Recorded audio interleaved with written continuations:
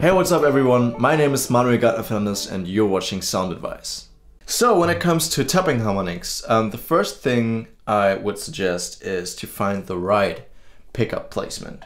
Um, for me, I like the middle position. In my opinion, you get the more, the the better sound out of it um, when it comes to sustain sustain and um, yeah, the the high precise kind of kind of note.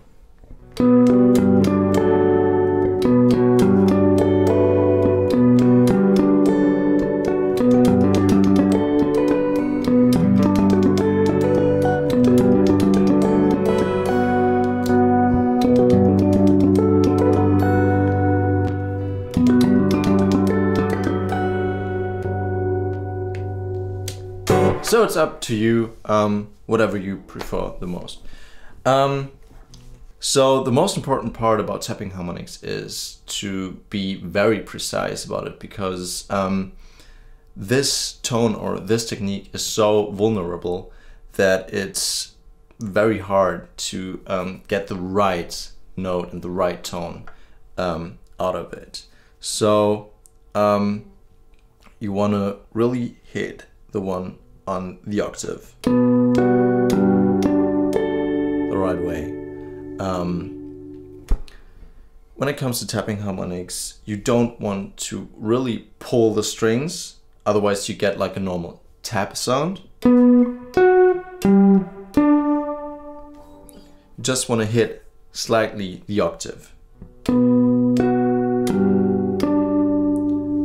So let's start with the first note. It's uh, a B on the 8th string, second fret.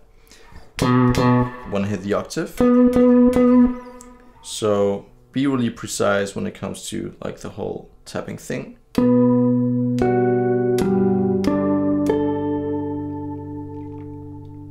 And then you get the right note out of it. So let's do my vibrato vibrato. Um, Actually, um, a lot of people asked me how to create this weird sounding, very short, distinguished vibrato tone. Um, because a lot of people said it almost sounds like that it's sped up. Um, actually, I just wanted to imitate a um, Asian sounding violin called the erhu. Um, I really like that because it has like this very traditional Asian sounding tone to it.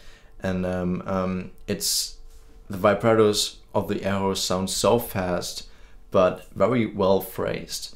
And I wanted to imitate this on the guitar because sometimes a very fast vibrato doesn't sound good, um, especially when it comes to rock or blues or whatever.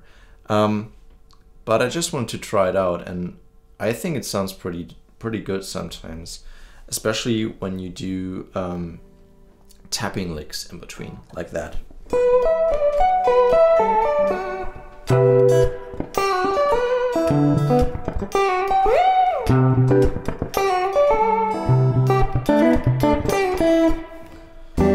So what I do with my left hand is um, I vibrate with three fingers and um, I do my hand slightly to the left like that to get this right tension and to go very fast.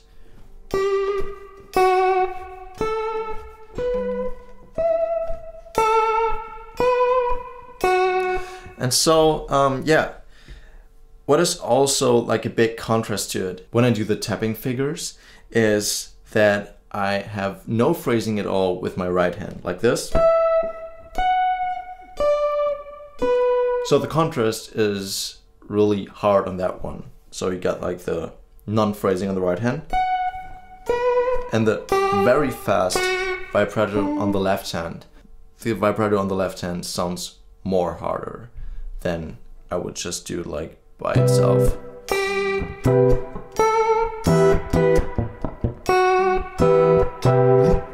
Like that.